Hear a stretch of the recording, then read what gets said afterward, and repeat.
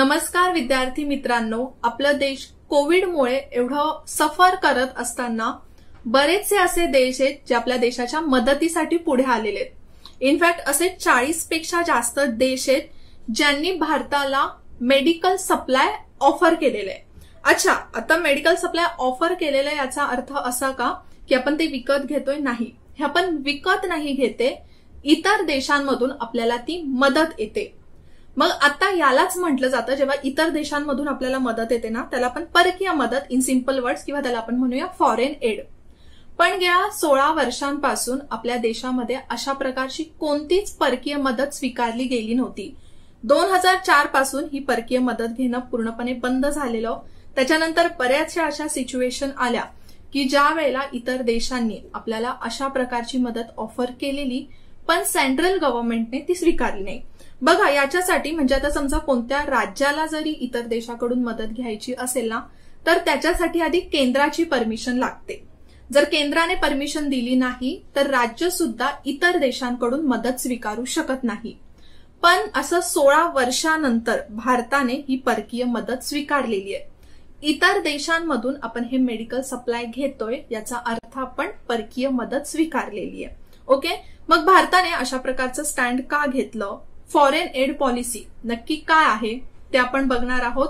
त्याच्यानंतर अशा प्रकारचं हे जे धोरण आहे म्हणजे परकीय मदत स्वीकारणं इतक्या वर्षानंतर हे चेंज केल्यामुळे आपल्या भारतावर याचा काय परिणाम होऊ शकतो ते सुद्धा आपण डिस्कस करणार आहोत. बघा हे टोटली इंटरनॅशनल जे आपलं रिलेशन आहे त्याच्यावर डिपेंडंट ही धोरणं असतात. आपल्याला माहिती आपल्या देशाकडून कित्येक वर्षांपासून आंतरराष्ट्रीय धोरणं ही स्वीकारली जातात. मग हा आंतरराष्ट्रीय धोरणाचाच एक भाग आहे. तुम्हाला हा जो टॉपिक आहे ना तो बेसिकली कधी कधी कामी येईल.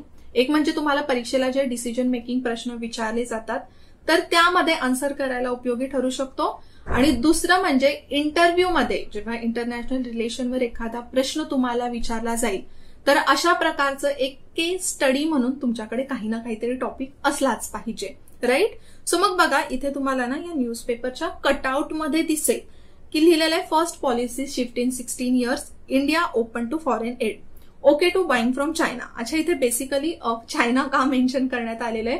कारण की बाकीच्या देशांमधून तर आपल्याला मदत आलेलीच. पण त्याचबरोबर आपले जे कट्टर दुश्मन आहेत चीन आणि पाकिस्तान या देशांनी सुद्धा आपल्याला मदत ऑफर केलेली. सुरुवातीला तर आपल्या सेंटरने चायनाला सुद्धा नकार दिला होता. पण आता त्याच्या थ्रू पॉझिटिव्ह आहे.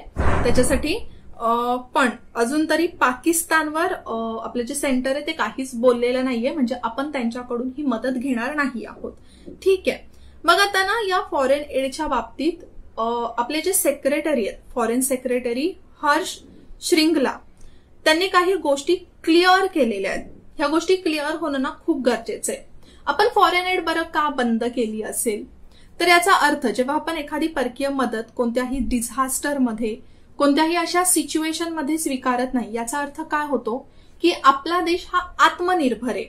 ज्या सिच्युएशनमध्ये आपला देश आहे त्या सिच्युएशन मधून तो स्वतःच बाहेर पडू शकतो. त्याला कोणत्याही इतर देशाची गरज नाहीये असा त्याचा अर्थ होतो. ठीक आहे. सर्वात पहिल्यांदा ना अशा प्रकारे ही जी घोषणा आहे की आपला देश हा आत्मनिर्भर झाला पाहिजे इतर देशांकडून आपण मदत घेतली नाही पाहिजे हे सर्वात पहिल्यांदा आपले माजी अर्थमंत्री होते जसवंत सिंग. यांनी त्यांच्या अर्थसंकल्पीय भाषणादरम्यान जाहीर केलं होतं. ते काय म्हणाले होते तेव्हा? की भारत अशा टप्प्यावर पोहोचला जेव्हा भारत कोणत्याही विशिष्ट प्रयत्नांना जोडलेल्या मदतीवर आता अवलंबून नसेल. विशिष्ट प्रयत्न. बघा हा एक शब्द का मेन्शन करण्यात आलेला आहे? जनरली कोणताच देश आपल्याला कोणत्याही विदाऊट इंटेन्शन मदत करणार नाही. जर समजा त्याने मदत केली तर त्याच्यासाठी म्हणजे ते एक प्रकारे काय म्हणतो आपण की फेवर असू शकतं.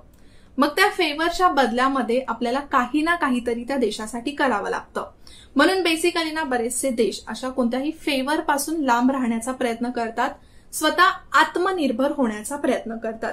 मग इथेच तेच क्लिअर करताना काय म्हणालेत हर्ष श्रिंगला की आम्ही सहाय्य केलं आहे आणि आम्हाला आता परत मदत मिळते.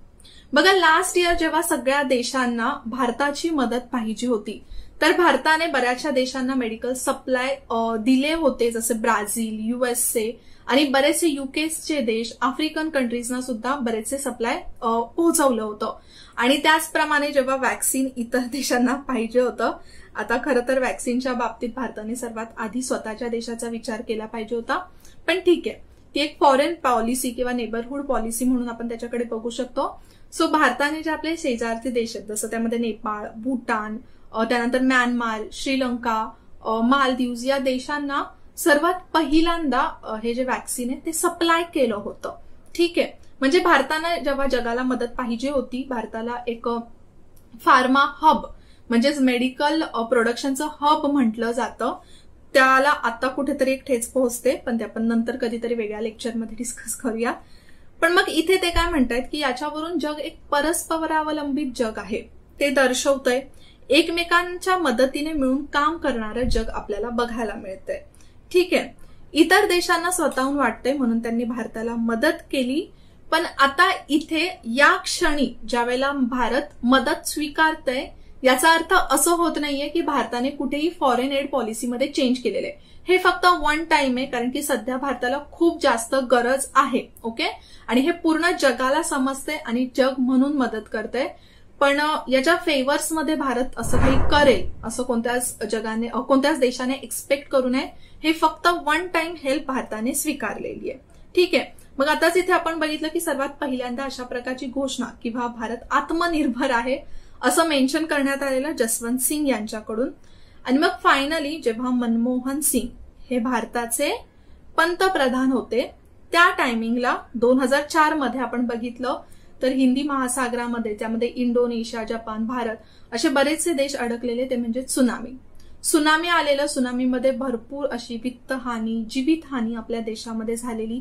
किनारी प्रदेशांमध्ये खूप हानी झालेली. तर त्यानंतर परदेशी मदत स्वीकारण्यावर पूर्णपणे बंदी घातली गेली. म्हणजे आपल्या सरकारने काय केलं? की या सुनामीमधून आम्हीच बाहेर पडू जी काही हानी झालेली आहे त्यातून आम्हीच बाहेर पडू. ठीक आहे? असं ते म्हणाले होते. आणि म्हणूनच तेव्हापासून भारत आत्मनिर्भर बनण्याच्या मार्गावर गेला. ठीक आहे? जर या आधी आपण बघितलं ना की दोन हजार चारच्या आधी तर भारताने भरपूर वेळा फॉरेन एड स्वीकारली होती. जसं त्यामध्ये एकोणीसशे त्र्याण्णवमध्ये जे खिल्लारी लातूरमध्ये जेव्हा भूकंप आलेला त्यावेळेला त्यानंतर दोन हजार एक मध्ये गुजरातच्या भूकंपाच्या वेळेला जो खूप वर्स्ट भूकंप होता त्यानंतर दोन हजार दोन मध्ये बेंगॉलमध्ये पश्चिम बंगालमध्ये जे फ्लड्स आले होते जे पूर आले होतं तेव्हा सुद्धा स्वीकारलेलं. पण दोन हजार चार नंतर ज्या घटना घडल्या त्याच्यानंतर अजिबात परकीय मदत स्वीकारण्यात आली नव्हती. जसं दोन हजार चारच्या सुनामीमध्ये दोन हजार तेरामध्ये जे उत्तराखंडमध्ये महापूर आलेला ती तर परिस्थिती आपल्याला माहितीये. तेव्हा सुद्धा ही मदत स्वीकारली नव्हती. दोन हजार अठराचं तर एक खूप मोठं एक्झाम्पल आहे. दोन हजार अठरामध्ये युएईने काहीतरी सातशे करोड रुपयांची मदत केरळ सरकारला देण्याचं एक घोषणा केलेली पण ती सुद्धा आपल्या सेंट्रल गव्हर्नमेंटकडून स्वीकारण्यात आली नाही. ते म्हणजे या फॉरेन एड पॉलिसीमुळे ठीक आहे? पण बघा इथे असं असलं ना की भारताने जरी कोणाची मदत स्वीकारली नाही तरी भारताने इतरांची मदत केलेली आहे. भारत काय म्हणाला? की आम्ही स्वतःचं तर संरक्षण करू स्वतःला तर सांभाळून घेऊ पण आम्ही इतर देशांना परकीय मदत नक्कीच करू. जसं त्याचं एक सर्वात मोठं एक्झाम्पल होतं दोन हजार चारमध्ये जे काश्मीर भूकंप आलेलं. दोन हजार पाच मध्ये सॉरी तर या भूकंपामध्ये जेवढी हानी काश्मीरमध्ये झालेली त्याच्यापेक्षा जास्त हानी पाकिस्तानला झालेली. तर भारताने त्यावेळेला पाकिस्तानला मदत केली होती. त्यानंतर बऱ्याच वेळेला बघा भूटानला सुद्धा मदत केलेली. त्याचबरोबर कॅरिबियन जे कंट्रीज होते तर दोन हजार दहाच्या दरम्यान तिथे भूकंप आलेला तर त्या कॅरिबियन कंट्रीजना सुद्धा भारताने काही फायनान्शियली हेल्प केली होती. ठीक आहे? फक्त इथे काय आहे? भारत हेल्प करू शकतो पण भारत कोणाचीच मदत घेणार नाही. ठीक आहे. सो आपण या गोष्टी तर सगळ्या आता नीट समजून घेतलेल्याच आहेत की भारताने आधी फॉरेन एड का बंद केली होती आणि आत्ता परकीय मदत का स्वीकारलेली आहे? जर एक तुम्ही ह्या चार्टवर बघितलात ना तर तुम्हाला समजून येईल की आपल्या भारताला मोठमोठ्या कंट्रीजच नाही जसं बघा युके फ्रान्स युएसए अशा बऱ्याचशा कंट्रीजने मदत तर केलेलीच आहे रशियाने वगैरे. पण लहान लहान देशांनी सुद्धा मदत केलेली आहे. जसं व्हेंटिलेटर्स पाठवून ऑक्सिजन कॉन्सन्ट्रेटर कॉन्सन्ट्रेटर पाठवून किंवा काही काही देश आपल्याला रेमडेसिवीर सप्लाय करतायत. जसं त्यामध्ये बघा आयर्लंड त्यानंतर सौदी अरेबिया तर मोठा देश आहे थायलंड बेल्जियम त्याचप्रमाणे बहारीन अशा देशांनी सुद्धा आपल्याला मदत केलेली आहे. ठीक आहे? सो आय होप तुम्हाला फॉरेन एडबद्दल तर आता नीट समजलं असेल पण या आता पॉलिसी चेंज केल्यामुळे ही पॉलिसी चेंज केल्यामुळे भारतावर काय परिणाम होऊ शकतात? तर चांगले परिणाम तर आहेतच. आपण असं नाही म्हणू शकत की सगळे वाईटच परिणाम होतील. चांगले तर आहेत. त्याच्याबरोबर वाईट सुद्धा आहे. एक म्हणजे बघा आपण जेव्हा या कंडिशनमध्ये आहोत आपण म्हणतो ना the friend in need is a friend in deed याचाच अर्थ काय होतो की आपल्याला आत्ता समजलंय की कोणकोणते देश आपल्या मदतीला येऊ शकतात. आणि चाळीस देश येणं म्हणजे खरंच खूप मोठी गोष्ट आहे. भारतात आपण कित्येक वेळेला बघून येतं की भारताने नेहमीच इतर देशांबरोबर रिलेशन चांगले करण्याचेच प्रयत्न केलेले आहेत. मग आता इथे असं होऊ शकतं की या मदतीनंतर ज्या ज्या देशांनी आपल्याला मदत केलेली आहे त्यांच्या बरोबरचे जे आपल्या भारताचे रिलेशन आहेत ते अजून चांगले होते अच्छा वाईट परिणाम कुठे होणार आहेत? तर सर्वात मोठा धोका इथे आपल्या देशातल्या फार्मा कंपन्यांवर पडणार आहे. सध्या जे भारत आहे ते एक मेडिसिन्सचं हब बनलेलं. जर तुम्हाला माहिती असेल जी सिरम इन्स्टिट्यूट आहे ना ती सध्या एकशे चाळीस देशांमध्ये मेडिकल सप्लाय करते. म्हणजे एक प्रकारे इथे सिरम इन्स्टिट्यूटची जगभरामध्ये मोनोपोली झाली होती. सध्या तर सिरम इन्स्टिट्यूटबद्दल पण बऱ्याचशा गोष्टी बोलल्या जात आहेत जे आदर पुनावाला आहेत त्यांना ब्लेम वगैरे केले जाते आपण एखादं त्याच्यावर सुद्धा लेक्चर घेऊया. पण या सगळ्या गोष्टींचा जो धोका आहे किंवा या गोष्टींचा जो इफेक्ट आहे तो डिरेक्टली आपल्या फार्मा कंपन्यांवर होणार आहे.